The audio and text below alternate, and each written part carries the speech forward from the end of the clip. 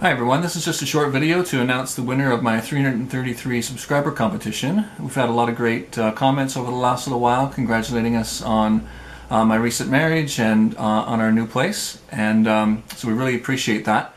This is the 40th video that I've uploaded and uh, with about 345 subscribers and over 25,000 views I really want to say thanks to everyone that's uh, taken the time to watch and subscribe to my channel.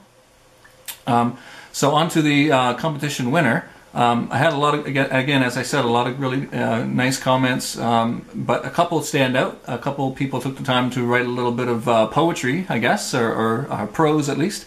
And so I got this uh, message from DMG Info, and he wrote, uh, To have and to hold, to death do us part, I'm wanting that art. Before it gets old, aged gate it may be, but I want it for me. Signed DMG.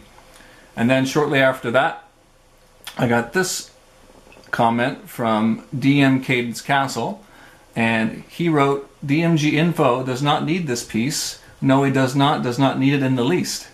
He has his own pieces, he makes them by the ton, by cratefuls and carloads, and has all the fun. I think I should get it, I really must say.